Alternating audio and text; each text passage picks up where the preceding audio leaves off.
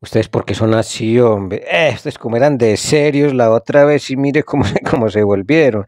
Ah, esas comparaciones que hacen.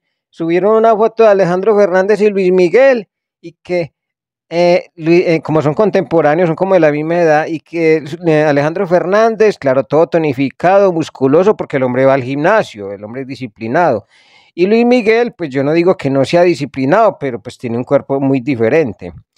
Y entonces a, Luis Miguel le hacen un montaje que Ramón Valdés, que no sé qué, que porque está muy acabado, hombre, dejen, de...